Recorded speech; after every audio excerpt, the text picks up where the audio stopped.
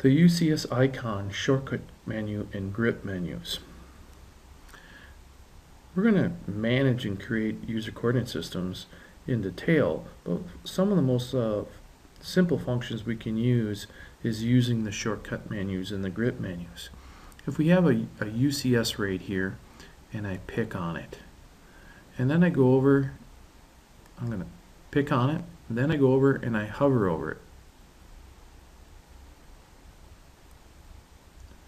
Okay, I go over and hover over it.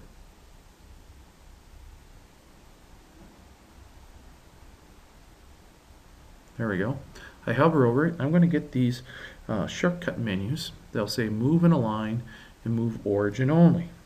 So first let's do move origin only. Let's move this origin and now I want to move the new origin down to the corner of the wedge and I just come over here and it'll find the endpoint and it'll snap to it and it snapped the endpoint right onto that corner of that uh, origin right there.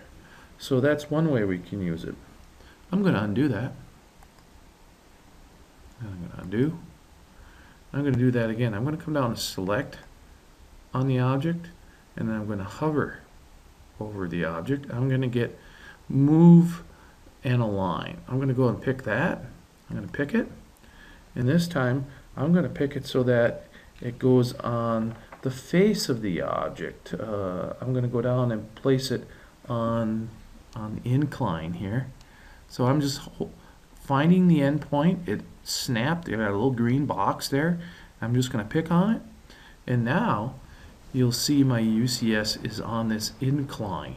So I'll even I'll even uh, zoom zoom and pan a little bit here for you.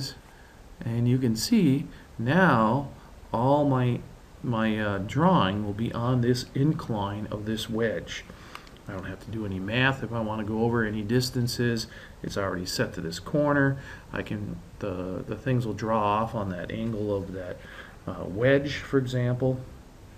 And so uh, this is a very slick way of moving around my UCS icon is by dealing with the UCS shortcut menu and the grip menus.